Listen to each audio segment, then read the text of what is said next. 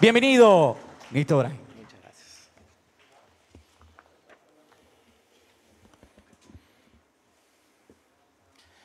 Señores miembros del Comité Ejecutivo Nacional del Partido Popular Guatemalteco, señores delegados a esta Asamblea Nacional, señores representantes de los departamentos y municipios de Guatemala, señores miembros de la prensa, público presente y a todos los que están conectados a través de las diferentes plataformas de las redes sociales, tengan el mejor de los días. Durante la pandemia pude confirmar algo que venía analizando años atrás, que los alcaldes como servidores públicos de la estructura inicial de la administración del Estado son los que en los momentos catastróficos pueden coordinar, organizar, administrar sus comunidades y gestionar los recursos para poder enfrentar los problemas en la pandemia, pude darme cuenta que solo el alcalde sabe atender y responder al llamado del vecino y poder esforzarse con lo que se tiene para lograr controlar las diferentes situaciones. Durante la pandemia fuimos muchos los alcaldes que no nos quedamos esperando ayudas de nadie. Salimos a pesar del virus a responder. Llevamos comida a los más necesitados. Albergamos a los que no tenían techo coordinamos el comercio, los horarios, los aforos, los mercados, supervisamos el hacinamiento en las maquilas, conseguimos y repartimos medicinas, mascarillas, ropa, víveres, gestionamos créditos para los pequeños negocios, dimos seguridad y nos mantuvimos vigilantes ante la delincuencia. Cuidábamos el estricto cumplimiento del toque de queda trasladamos a los infectados a los centros asistenciales cuando no habían ambulancias. Y muchos bomberos ya no quisieron llevar personas con COVID al parque de la industria. Nosotros lo hicimos. Vimos morir a los vecinos en las afueras de las municipalidades o en nuestros carros cuando los llevábamos hacia los hospitales. Vimos fallecer a los hombres y mujeres ilustres de nuestros municipios de la tercera edad tuvimos que comprar ataúdes para atender a los más pobres. Fuimos a rescatar a las personas contagiadas que eran centro de ataque y rechazo de parte de los vecinos ante la psicosis que se vivió de no querer adquirir el virus. Fuimos a regalar tablets a los niños para que se conectaran a sus clases virtuales. Los alcaldes Tuvimos laboratorios móviles para que los niños y los padres imprimieran sus tareas y poder llevar una educación a distancia. Nosotros, los alcaldes, regalamos tarjetas de internet para las clases en Zoom o en Google Meet. Nosotros, los alcaldes, exoneramos el agua, exoneramos los pagos de drenajes, las tasas municipales. Nosotros, los alcaldes, tuvimos que enterrar a nuestros vecinos con sepultureros metidos en un traje de bioseguridad, echándole un quintal de cal entre cada difunto, en las fosas comunes que se tuvieron que improvisar cuando ya no habían espacios en los cementerios. Nosotros los alcaldes tuvimos que salir a sanitizar las calles, a echar máquinas con amonio cuaternario, con alcohol isopropílico, Solo los alcaldes nos las ingeniamos para mantener los servicios, para no despedir a los empleados, para construir calles, drenajes, para mantener los servicios públicos vigentes en medio de la pandemia, como el agua y la limpieza de todas las calles. Solo nosotros los alcaldes sabemos qué fue sufrir la pandemia y sacar adelante nuestros municipios. Es por eso que creo en el municipalismo. Es por eso que pienso que debemos de pensar ya no en buscar un salvador para el país y no enfocarnos en el liderazgo de un presidente que pueda resolvernos la vida de todos o de confiar en un solo hombre que pueda solventar los problemas. La única forma de poder lograr que Guatemala salga adelante, logrando sus metas y objetivos, es logrando que hayan 340 alcaldes comprometidos en hacer su trabajo como los alcaldes que dieron la cara durante esta pandemia.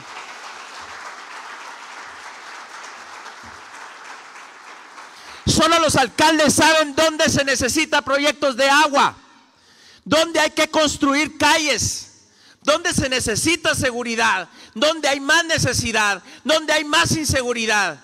El alcalde sabe dónde vive el marero, dónde asaltan, dónde venden drogas. El alcalde sabe dónde están los recursos naturales del municipio para cuidarlos y explotarlos sin acabarlos. Solo el alcalde de un municipio entiende las necesidades de su pueblo y entiende su sentir. Porque el alcalde nació en el municipio, creció en el municipio y vive en el municipio. Debemos de dejar de pensar en que un gobierno va a ir a resolver los problemas de un municipio si no conoce el municipio y no sabe dónde existe la necesidad de un proyecto. Pero el alcalde sí sabe y sí conoce. Por eso creo en el municipalismo, ya que si logramos que los 340 alcaldes trabajen unidos buscando alternativas, generando desarrollo, tanto con sus municipios vecinos, se pueda lograr una sinergia que desatará una red de trabajo en conjunto que pueda llevar a la salvación como país. Es por eso que creo en el municipalismo. Para poder rescatar Guatemala, hay que reducir a la más mínima expresión de la administración del Estado. Y estos son los municipios. Ante más municipios mejor atendidos en sus problemas, mejor país tenemos. Por ejemplo, si los municipios tienen mejores calles y mejores vías de acceso, los productos de los comerciantes podrán transitar muy bien entre municipios, entre lugares, entre ciudades, para el mejor intercambio comercial. Si hay drenajes y plantas de tratamiento, en los diferentes municipios, entonces podremos tener ríos más limpios y más agua para dotar de este vital líquido a todos los hogares. Si los servicios públicos de un municipio son los mejores, entonces lograremos desarrollo y con ello mejor calidad de vida. Si un municipio invierte en la educación, tendremos mejores ciudadanos educados y profesionales que buscarán mejores alternativas para seguir creciendo. Ahora, si usted eso lo multiplica por 340 municipios, imagínese el país que tendríamos. Entonces puedo afirmar con toda la certeza que el municipalismo es la respuesta, ya que el Estado a través del gobierno solo tendría que trabajar de la mano con los alcaldes dirigiendo juntos, no como empleados del presidente, ni como sirvientes del presidente y choleros del presidente, como ejecutores de un presidente, como potenciadores de un presidente, como los ojos de un presidente, como representantes operativos de un presidente. ¿Acaso eso no es la administración pública? Lo hizo Alejandro Magno con sus Alejandrías y sus atrapas, o Roma con sus provincias.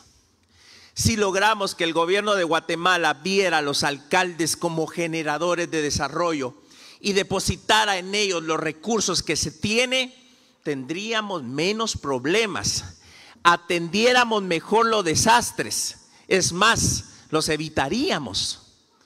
Nos podríamos anticipar a los problemas y resolverlos antes de que se conviertan en foco de conflicto. Imagínense que los alcaldes puedan dirigir a la PNC y en conjunto llevarlos a atacar donde está la inseguridad y no como ahora que en muchos de los casos la PNC está coludida con la delincuencia. Y se hacen de la vista gorda y llega uno de alcalde y pide apoyo y lo que encuentra es a un policía intransigente y poco colaborativo. Imagínese que los alcaldes pudieran manejar mejor los centros de salud, que puedan organizar y ordenar mejor a los doctores, la medicina y las enfermeras. Imagínense qué eficiencia tendríamos en el sistema de salud a nivel nacional. Y no digamos en el campo de la educación. Si los alcaldes trabajaran de la mano con el Ministerio de Educación y pudiésemos supervisar mejor a los maestros que vayan a dar clases, a los directores y administrar los recursos para remozar las escuelas, instalar internet y laboratorios con la mejor tecnología a la mano de nuestros niños y jóvenes, imagínense qué calidad educativa tendríamos. Convencido de todas estas aseveraciones, con un grupo de amigos creímos que era menester y obligación poder fundar un partido municipalista y que buscara formar a nuevos alcaldes comprometidos, dispuestos a dar más de lo que se les pide y ser alcaldes 24/7. Así empezamos el sueño de construir esa organización partidista y que con nuestra experiencia en la labor municipal de Misco encontráramos junto un modelo municipalista para administrar mejor Guatemala y con ello mejor la economía, el comercio y empezar a llevar el país por la vía de la competitividad en este mundo globalizado donde la tecnología y las nuevas formas de comunicaciones nos deja por un lado viendo cómo solo los países más desarrollados van avanzando. Y así fue como un día, por medio del diputado Rudy Pereira, que también se había sumado al sueño de conformar una organización política conmigo y con mis compañeros y amigos de toda la vida, conocimos al licenciado Jorge Arevalo y a su familia y a su equipo de trabajo.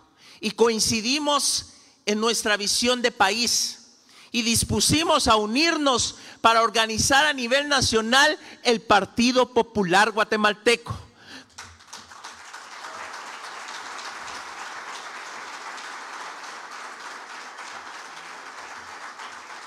donde en cada aldea, municipio y departamento encontramos muchos amigos, acá representados en los delegados de esta asamblea, que creían al igual que nosotros en el municipalismo y que solo creando más y mejores alcaldes podemos lograr cambios radicales en el país. Fueron casi dos años de trabajo, de adhesión, para llegar a la meta de los más de 24 mil afiliados y luego el poder realizar más de 70 asambleas municipales y 14 asambleas departamentales para lograr el número que la ley pide. Fuimos un partido en formación que no hizo magnos eventos, ojo, ¿eh? Grandes y onerosas reuniones o que regalamos bolsas de alimentos para ir a afiliar o que pintamos ya casas o pusimos enormes mallas. Nuestro partido político se formó en la calle, en las casas, en los pequeños negocios y a base de personas interesados en participar de manera genuina. Y porque en Misco han visto un cambio y eso los hace pensar que en todos los municipios puede haber un cambio parecido al de Misco.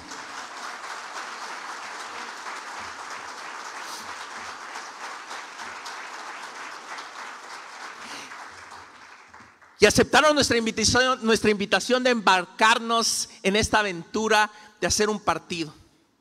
Nuestras asambleas fueron en los patios de tierra allá, en la Gomera Escuintla, en las casas hermosas de la aldea San Paquizoy allá en Jalapa, o en esos corredores antiguos de la aldea Pampur en Zacapa. Nuestro partido es auténtico, construido con amigos que piensan como nosotros y que saben que será difícil porque no tenemos dinero. Ojo también. Pero preferimos eso a ser financiados por la mafia y la corrupción guatemalteca que luego tiene de rodillas a los alcaldes, diputados y presidentes de este país.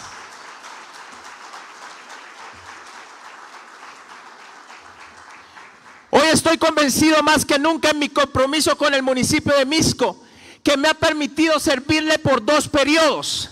Y en este momento en el deseo de mi corazón Y el llamado de Dios sigue siendo participar para candidato a alcalde de Misco. Y si el pueblo y Dios me lo permiten, poder tener el tercer periodo para hacer más obras de las que hoy tenemos hecho, enaltecer y hacer grande el municipio del municipio de Misco.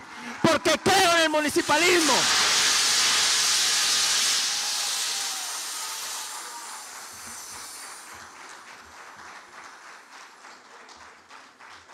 Porque me doy cuenta que no necesitamos de un solo hombre para servir a Guatemala.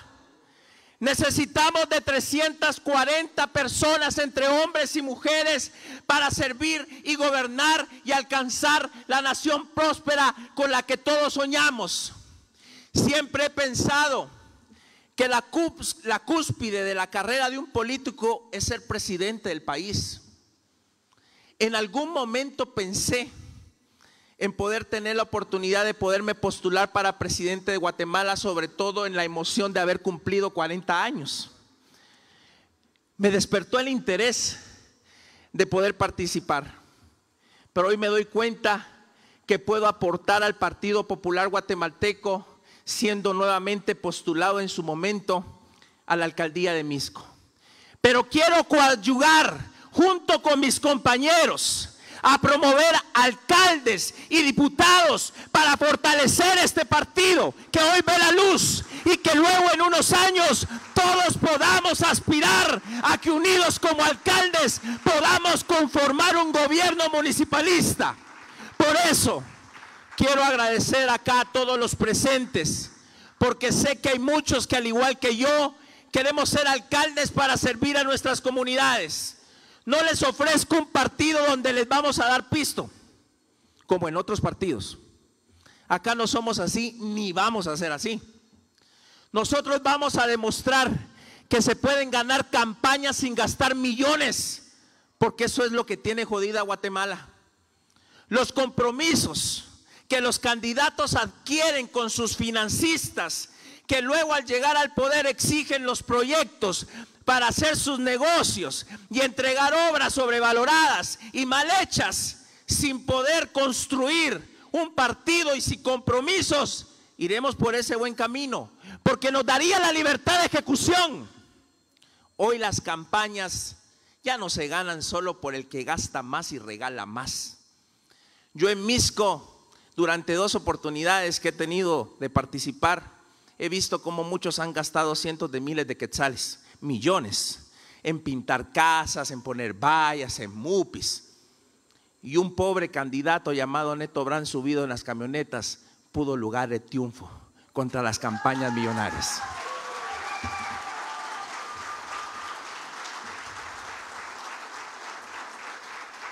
Yo llamo a los futuros candidatos a diputados y alcaldes a realizar campañas creativas donde no se gaste dinero pero que se demuestre ante la población el verdadero sentimiento de la vocación de servicio.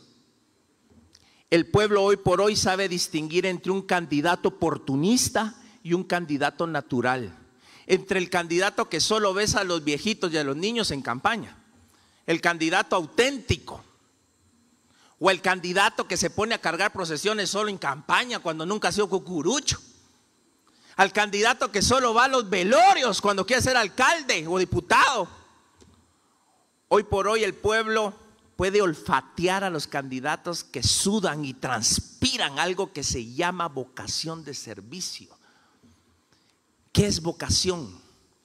La vocación significa llamado.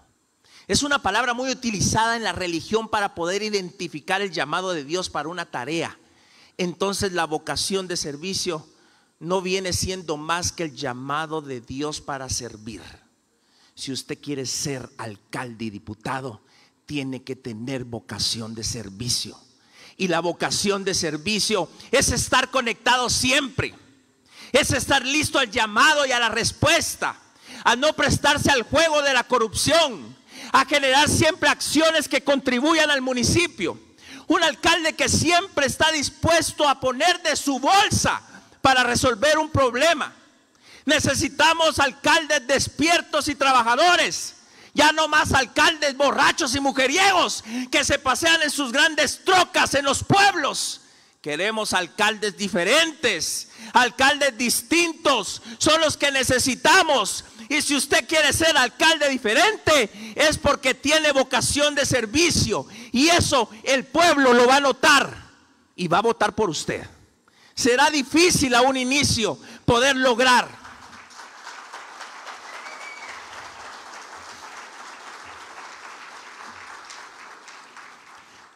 Será difícil a un principio poder lograr entender que los alcaldes están llamados para servir y no para ser servidos.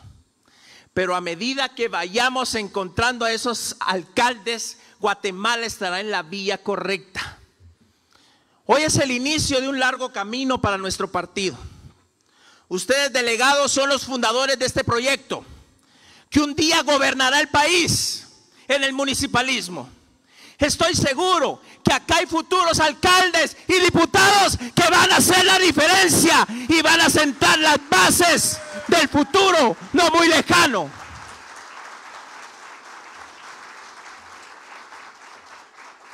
Quiero agradecer a todos por darme la oportunidad de elegirme hoy como secretario adjunto del partido.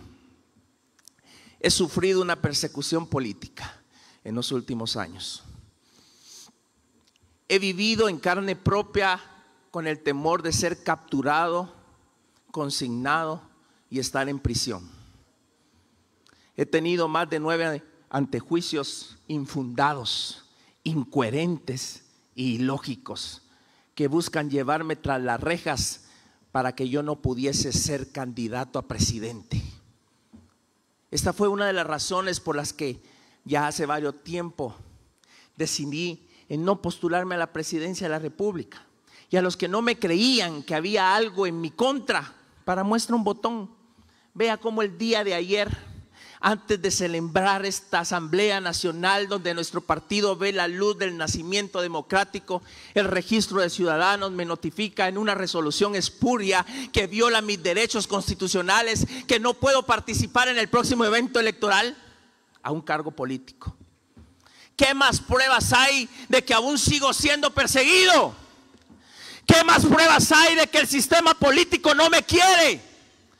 ¿Qué más pruebas hay de todo lo que he denunciado con anterioridad de la persecución política ante la PDH, ante la Comisión Interamericana de los Derechos Humanos y ante la opinión pública de que he sido perseguido por ser un político con un índice de conocimiento alto en el país gracias al trabajo que hemos realizado en Misco?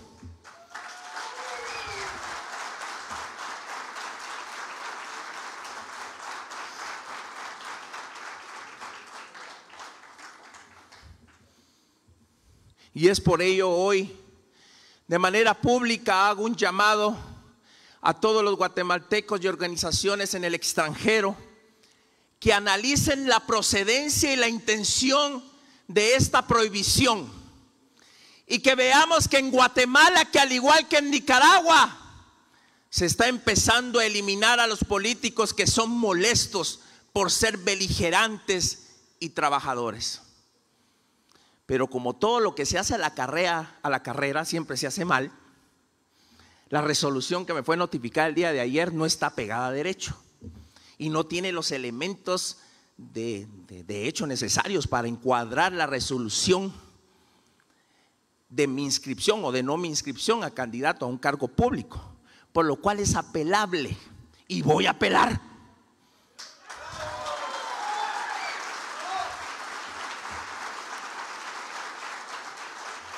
Esto aún no está firme.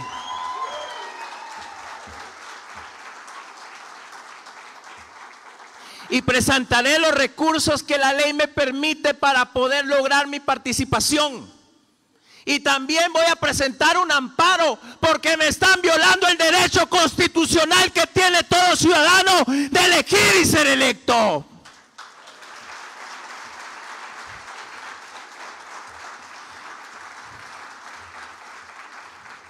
Estoy seguro y tengo fe en que ganaré mis apelaciones y voy a poder presentarme a la próxima asamblea de postulación.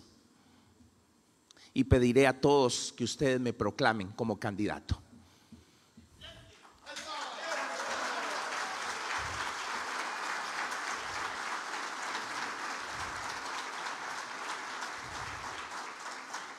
Vamos a luchar, vamos a pelear, porque sé que la ley y Dios está de nuestro lado. Y cuando Dios está con uno, ¿quién contra uno?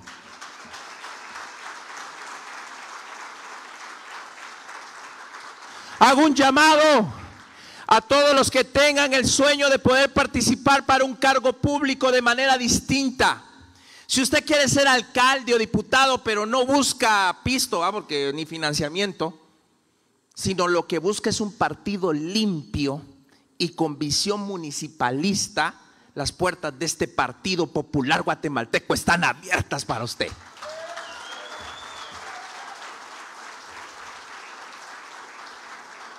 Tenemos aún muchos espacios para que usted pueda participar con nosotros y construir el país con 340 alcaldes comprometidos, dispuestos a trabajar en conjunto y lograr por primera vez en la historia de Guatemala un municipalismo fuerte que será el futuro de Guatemala. Quiero agradecer a todos los que hicieron posible esta asamblea, a los equipos detrás de cámaras que hacen todo el papeleo, a los que organizaron a nivel nacional, al equipo de mi amigo el licenciado Jorge Arevalo,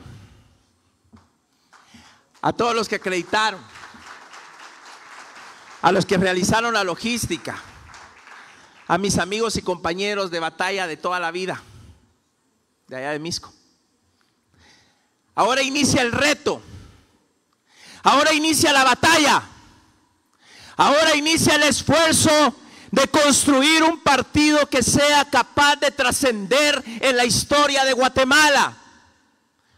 No de un periodo, no solo de cuatro años, un partido político que pueda ser una institución, que perdure en el tiempo y que pueda ser el vehículo para los que van a llevar el desarrollo a sus comunidades el partido que formará a los próximos concejales, a los alcaldes, a los directores, a los diputados y a los próximos presidentes de Guatemala, porque no venimos por un periodo, venimos a quedarnos porque juntos vamos a hacer historia. Muchas gracias, que Dios me los bendiga.